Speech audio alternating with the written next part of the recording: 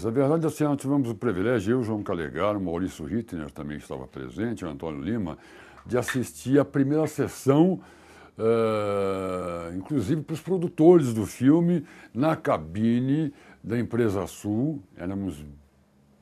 Eu acho que o Rogério estava muito preocupado de mostrar o filme para os, os sócios dele, os produtores da Empresa Sul, e pediu para alguns amigos assistirem também, porque ninguém tinha visto o filme pronto ainda. E eu não consigo tirar da cabeça que acabo, eu mesmo ter acabado a sessão do filme e eu, Calegado, saímos lá com. Assim, não, o cinema é, foi reinventado. Estava lá toda a tradição, né? a tradição reciclada, quer dizer, a tradição do grande cinema, do melhor cinema, é, reciclada lá dentro. É, e uma ousadia, um atrevimento lá dentro, absolutamente raros de se ver no cinema brasileiro. A impressão que eu tive na sessão no Marabá foi, uma, foi uma sensação muito saudável de estranhamento. Né? Foi uma sensação muito estranha, de, de uma, uma reação muito saudável de estranhamento.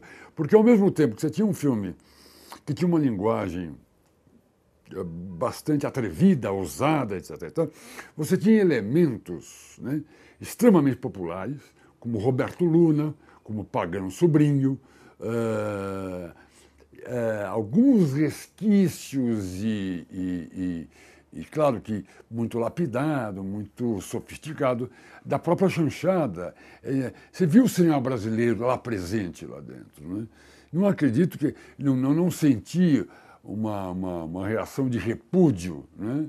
Uh, ah, porque não, é, deixou, não era um filme popular, não. Era, acabava sendo um filme popular por causa pela soma de elementos que ele trazia, né, que tinha e que o Rogério trabalhou extremamente bem. Né? Porque ele fez questão de trabalhar esses elementos populares, Guarânia, essa mistura de, de, de, da cultura popular com na, o refinamento mais erudito era um filme soma, assim, né, É como se a gente estivesse assistindo uma sessão tripla do Cinemundi lá dentro.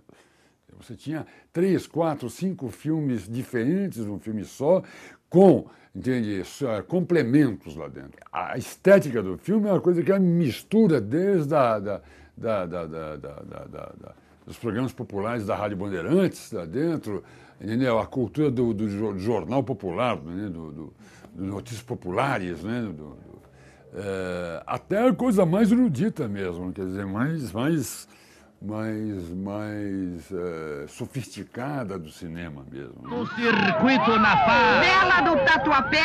Eles, eles chegavam do leste.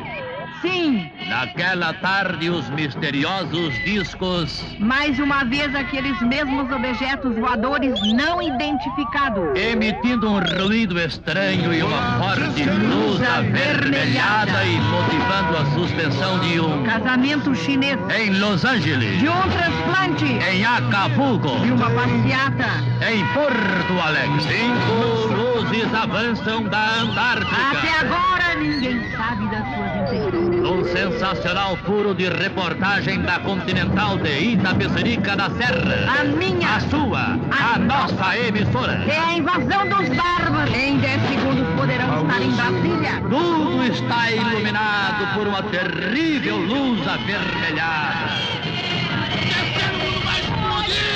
Quem tiver sapato não sobra! Maurício Leite falou num texto, foi o primeiro crítico carioca que é, assumiu a sua paixão pelo filme e diz assim, o problema, a grande questão do, do Rogério, é, porque no Rio de Janeiro eles levaram um susto, né? foi que o, o Rogério criou uma ciumeira muito grande no cinema novo, né? especialmente no cinema carioca, porque ele fez o filme que todos nós gostaríamos de ter feito.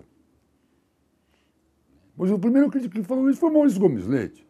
E foi o único que detetou isso direto. Né? Ele vai ser odiado, né? porque ele fez o que todos nós queríamos, todos os cineastas veteranos queríamos fazer, gostaríamos de ter feito. Né? O Rogério é um prodígio. Um prodígio, uma inteligência prodigiosa, um garoto, um, tinha cara de moleque quando ele fez o filme. Nós todos éramos muito moleques, muito jovens. É, mas o Rogério é uma, uma, uma sumidade lá dentro. Né? Ele, ele, ele, a apreensão dele, né? dessa informação, da leitura do cahier, da, da, da, da visão de cinema, da visão, é, especialmente na época, era, era prodigiosa mesmo. Era um garoto 100 anos, ele fala assim, estou 100 anos à frente de vocês mesmo. Isso era nítido. Né? Estar com ele era um aprendizado permanente de cinema, né? uma coisa muito estimulante.